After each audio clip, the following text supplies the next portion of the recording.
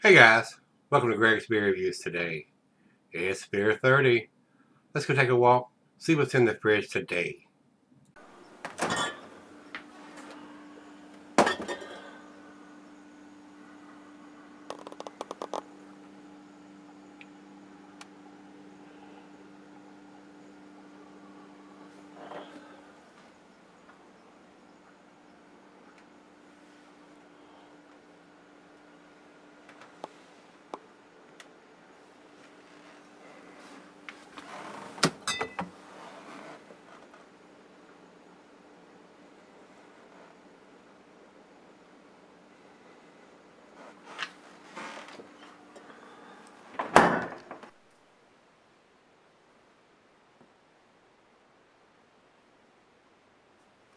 Hey everybody, thanks for stopping by Greg's Beer Reviews today. Today's beer comes from Allagash Brewing. Uh, these guys are out of Portland, Maine. Uh, these guys do some really tasty stuff. Uh, I have had them. I hadn't had any in a, in a while. Um, my brother Rico purchased this while he was down here. He bought it from Martin and the guys out there at the Chest and left it for me to review. So uh, uh, he left some notes on it too. Actually, after he bought it, he wrote this down. Allagash Hoppy Table Beer is what this is. Uh, this is a 4.8 percenter. Yeah, and they may have done it before because Rate Beer has it at 4.9 percent. Uh, they don't have the IBUs listed, neither does Untappd or Beer Advocate. So nobody has the IBUs and it's not on the bottom. Uh, he says uh, 4.8 Belgian Pale Ale hop with Chinook, Cascade, Comet, uh, Azacca, and then dry hop with more Comet and Azacca. Uh, so, I mean, this is a session beer, if you will, a hoppy session ale. And, and Beer Advocate has it listed as a Belgian Pale Ale. So, uh, and they also have it at 4.8% on uh, on Beer Advocate, so they got it right. Uh, Untappd has it at 4.8, but Rate Beer has it at 4.9%. So they may have done it before, guys. I've never had this beer before from them. So we're going to get on with this one. Uh, commercial description here says, while hoppy table beer was inspired by the Belgian tradition of low ABV, easy drinkable beers, it still occupies a hop forward spot of its own. Brewed with our two-row malt blend, Maris Otter malt, and oats, the beer is then spiced with subtle additions of coriander.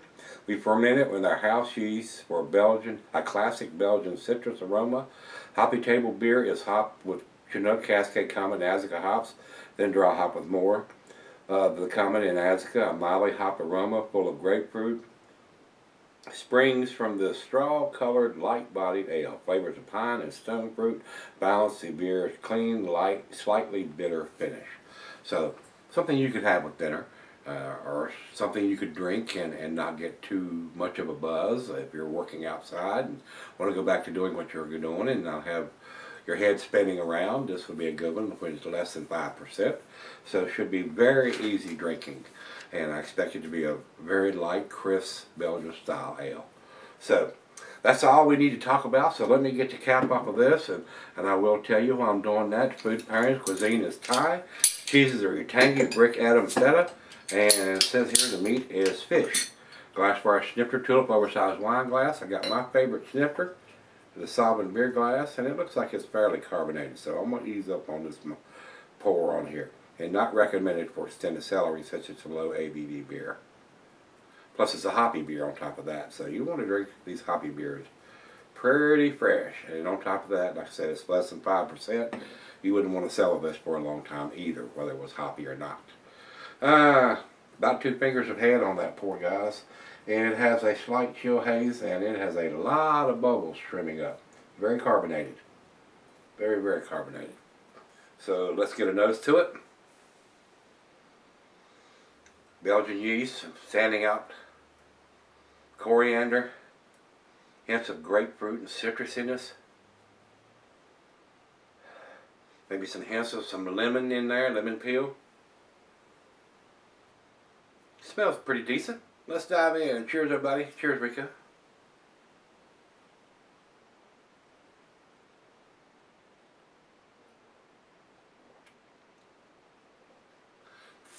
Very clean, very crisp, no alcohol at all.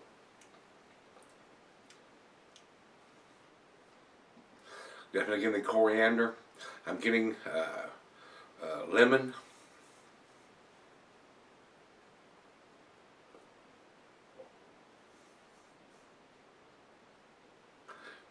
And hints of grapefruit there, guys. Coriander standing out big time.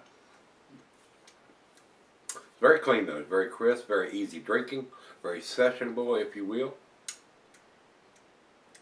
A nice first beer of the uh, of the day for me. So uh, it's right out of the fridge. Uh, so let's uh, let's let it warm up just a hair and let her have a taste two or three, and we'll come back and see where this one ends up.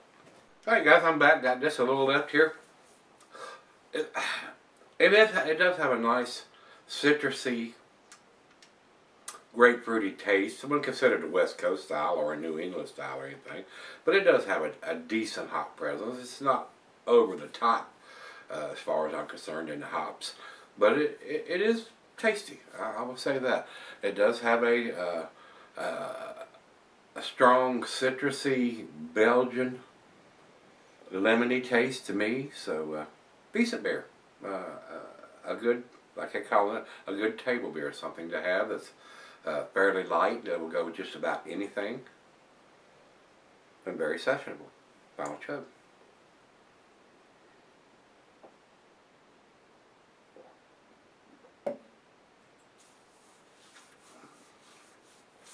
A very nice light Belgian ale. I mean it's uh, very crisp. Alcohol's well hidden. Decent beer guys. Uh, to me, uh, I think it is an A beer for a, a, a low ABV Belgian ale. I'm gonna give it to eight, a, uh, a minus, the uh, eight in the scale. Numeric rating for me would be a 90. Uh, uh, it does have the date on it. Uh, I don't know where he's seen it at, but he's seen it somewhere and wrote it on my paper, so it's got a date on it somewhere. Yep, right here it is. Bottled on 12, 14, 16, and the little blue box here above the uh, barcode. So, uh, and it's got the bottled on date on top of that. Not a used by, best buy, joy buy, whatever buy. Uh, so thumbs up to those guys for doing that. And it does have the ABV written on here. Would like to see the IBUs, but two out of three ain't too awful bad, I don't guess.